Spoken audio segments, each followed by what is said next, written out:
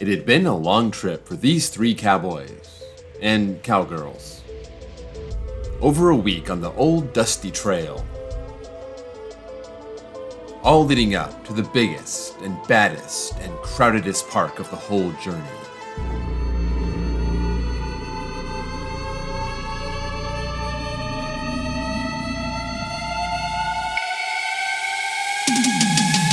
You got Chris, the ringleader, the oldest of the bunch, but is by far the least mature. Sophie, the grizzled veteran of the group, 10 years old and 200 coasters down, sporting an odd obsession with SNS screaming Swings. And finally, Amy, the Punisher, the Enforcer. She's the smallest, but she's by far the loudest, and she runs the show. Together, they arrive at Cedar Point, ready to ride. But would Cedar Point be ready for them?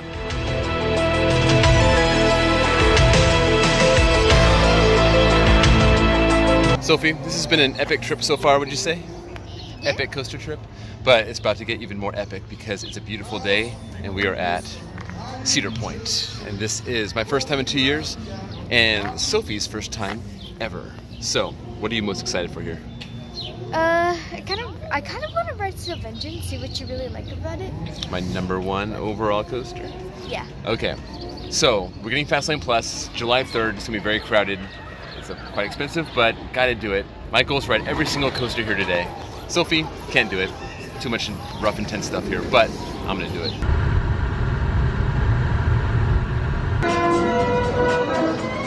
Okay, so we stayed at the Cedar Point Express Hotel. Nice hotel. Got coasters all over the walls. And um, because of that, we got early entry, and we're gonna hit up the brand new, new for 2023 Boardwalk and Wild Mouse. Uh, it's weird not seeing Wicked Twister here. Kind of sad.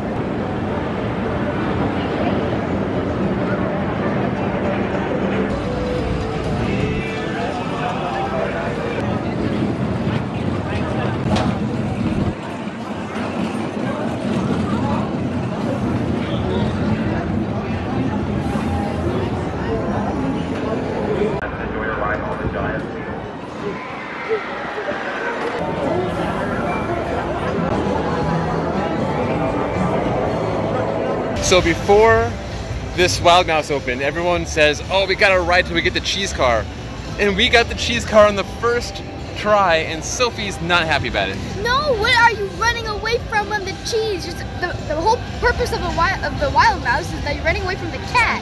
Yeah, But the cat doesn't want the cheese. but the mouse wants the cheese. no. You're running away no, from all the other mice. No, that's that's what the spinning mouse is. It's based off of All right, the mouse. I gotta shut you down there. Sophie's big mad. What are you gonna do? Sit your lips at any time during the ride. Keep your hands and arms inside the train at all times and hold on to the left is open in on the platform. Flying in is open and gesture. You just got off Gatekeeper, or Gate Sleeper, as some people say. It is pretty mild, but pretty smooth. Smoother than X Flight. Sophie, what do you think? I think I think it was fun. I think anyone could ride that if they into it. So Yeah, it's a pretty good way to start your day. Um, it's not gonna rip your face off or anything, but all in all, pretty good. Uh, what's what's better, X Flight or Gatekeeper? um, probably they're like equal. Amy, X Flight or Gatekeeper? What do you think?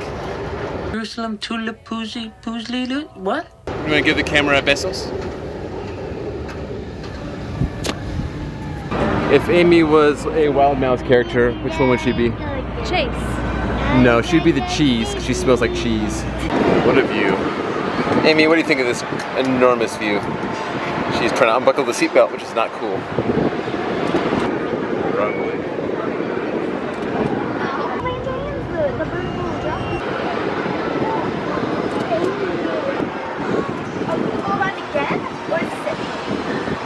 Sophie, are you ready for a nap? No. All right, well, too bad. We're going to Iron Dragon anyway.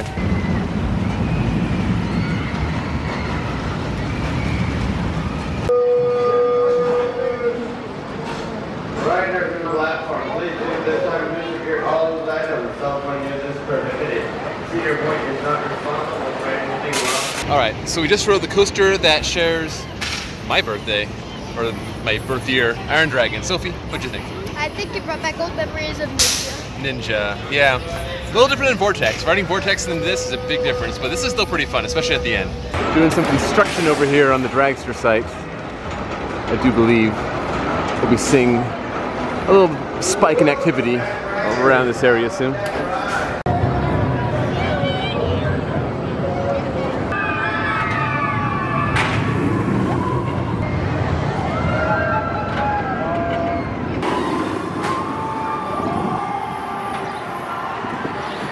All right, we just rode Valravn. Sophie, verdict on Valravn. I think this was better than um, the other ride at. Yukon Striker. Yes. I weirdly agree too. Even though that's taller, longer, has more stuff, still enjoyed Valravn more. But I think my original fandom for Valravn's kind of starting to fade. But still a fun ride. But I think not top 50 or even maybe top 100. We'll I, see. I think Diabolical is the best. Diabolical is the best. I think Griffon's the best. Griffon? Diabolical. Okay. So there you have it. All right, Sophie. So 21 years ago, I came to this park for the first time, and I saw this thing nearly wet my pants. Now it is time for you to wet your pants. You scared? No. You're a lot braver than I was in 2002, that's for sure. Like I've never ridden anything like like running. Right.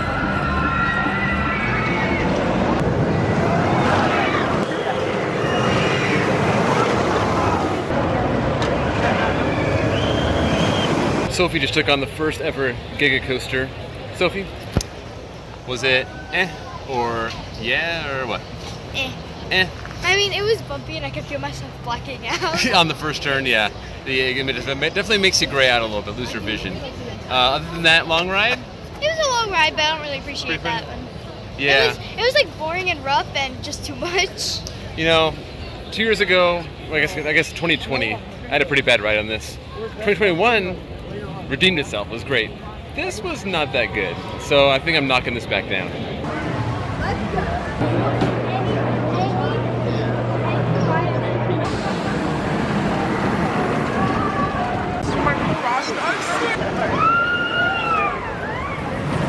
Sophie just took on Maverick for the first time ever. Her first Blitz coaster, I guess, other than Cheetah Hunt, which doesn't really count. What do you think, Sophie? I think it was fun, but the headrest could be improved. Yes, and then the snappy turns. Yeah. It's a little too much. Too, too uncalled for. Stengel. Not a fan of your Stengel dives, man. Maverick running just about as well as normal. We rode towards the front this time, so the drop wasn't quite as crazy for Sophie. But, you know, typical snappiness. The airtime's a little bit weak, but love the speed. Solid ride all around, but uh, top 50 for sure. Top uh, 5 or 10, no way.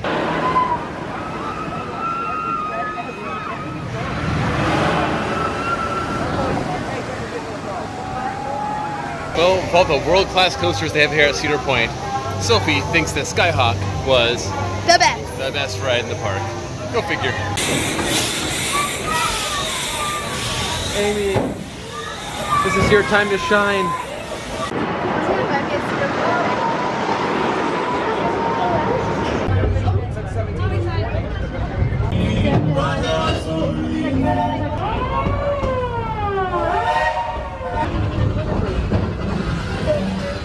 Train ride's over, girl. Gotta get back in line.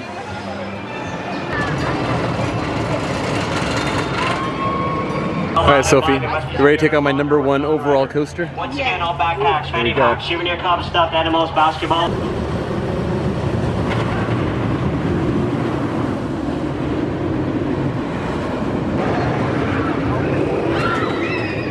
All right, Sophie, you just rode the best coaster in the world, in my opinion. Steel Vengeance, what'd you think? I think it was top five worthy because mm-hmm. it was smooth. It had a lot of inversions and it was it had airtime. And it But- was very long. Is it number one? We'll see. We'll see. We're gonna try to get another ride later because that was good. We didn't get back row. We got row eight, which was still pretty good. But I think it's running great this year. And as of now, I'm still gonna put it number one. Amy, what did you think about Steel Vengeance? What are you doing? What do you think about your steak salad? All right, the girls are gonna chill for a while. It's a little hot out here. Sophie, we don't want to overload her, so they're chilling out. I'm gonna ride the other six coasters that she can't ride.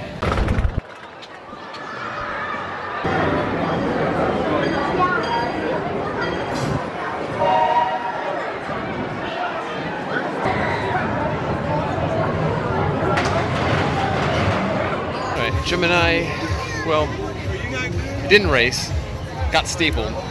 And um, glad I didn't take Sophie on this because even though it's generally smooth, there's some really bad potholes on that thing. Um, still love Gemini, but not the best ride.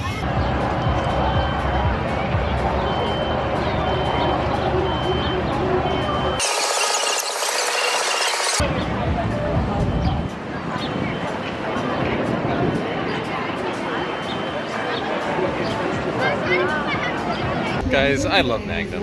I don't know what to say. It's it might be the best coaster in the world. I mean, Steel Vengeance, eh, pretty good. Magnum might be the best coaster in the world, or, or, or not. I don't know. It's just fun.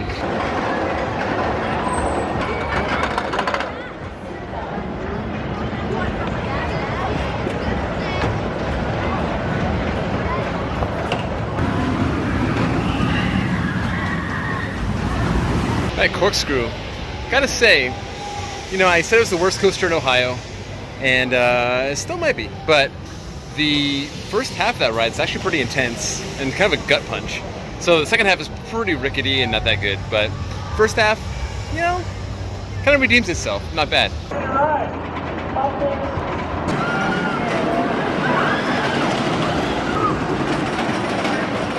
All right, row blue streak, very back row. Um, that was rough as holy freaking hell, but man, the airtime in the first half is nuts.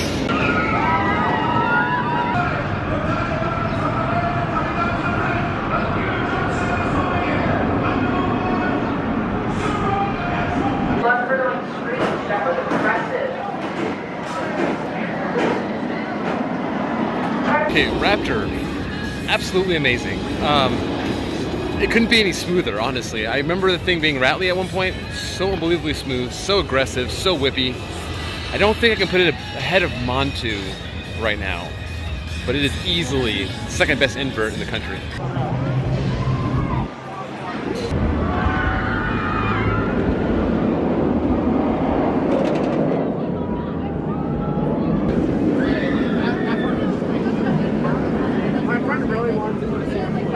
Know I've kind of trashed Rougarou in the past, but it's pretty solid.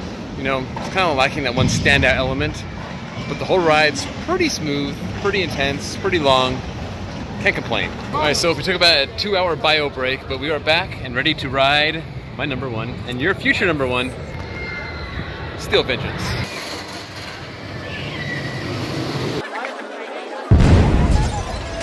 So did you break it? It broke. It broke. It broke. It's the first time we've had a breakage today, but you know, one out of 16 ain't bad. So Sophie broke Steel Vengeance. She also broke Maverick. So um, you're a curse. Do not break the mine train because that's where we're going next.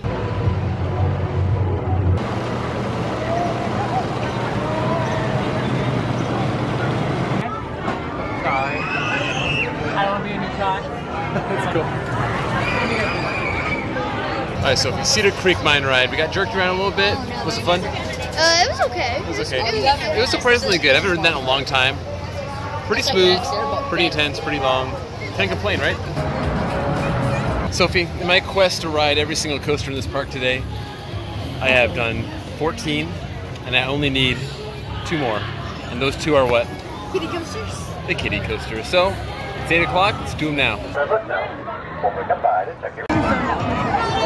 I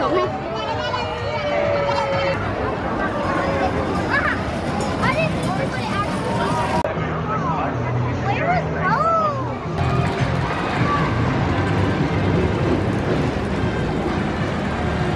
Rose? Sophie, I was so close. I was so close. I had 15 out of 16 coasters, and I've been rejected by Wilderness Run because you are Two you are no longer. This is the end of an era. You can't give me kitty, credits anymore. Most coasters that require an adult kid to ride, so the kid has to be under 54 inches. And Sophie, come over here. This is a sad day. Sophie is 57 inches tall.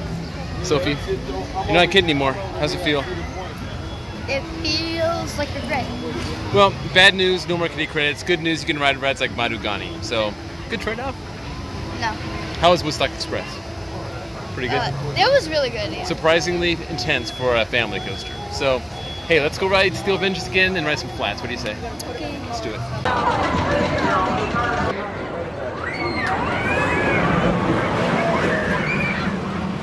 Hey, Sophie. Is a credit? Good call. Absolutely not. Sophie, so um, Frontier Town's having a bad day. Bad night, at least. Got Steel Vengeance over there, which looks like it may have gotten evac off the lift. She's not sure where we're going, so that stinks. We can't get another ride. And then over here you got Maverick, also down. This has just been down for a while now, so you know, hmm, it's been a pretty good day at Cedar Point, but man, this is kind of a weird ending. So with all the good coasters closed, Sophie says, more Skyhawk. Word on the street is that Steel Vengeance is reopened and everyone's excited.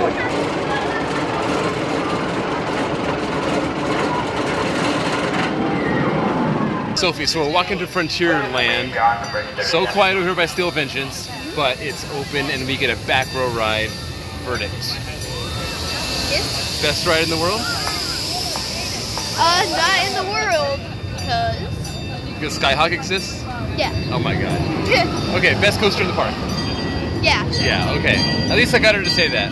So epic back row ride, still my number one. Sorry Magnum, sorry Area 4, sorry Fury. Only one ride Magnum today, but it was magnificent.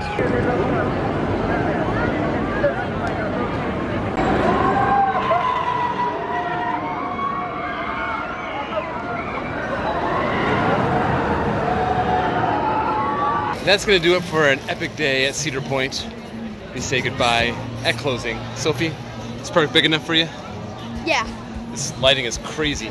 So, um, rode all but one coaster, Steel Vengeance twice, bunch of flats, Skyhawk three times thanks to Soph. So, I think she has a new number one coaster. We'll see when she ranks them up later on this year. So, that's all. That's the last big trip, uh, big, big uh, park on this trip. We are going to Stricker's Grove tomorrow, stopping by Six Flags St. Louis on the way home. And that's it for this epic summer road trip. So, thanks for watching. See you next time.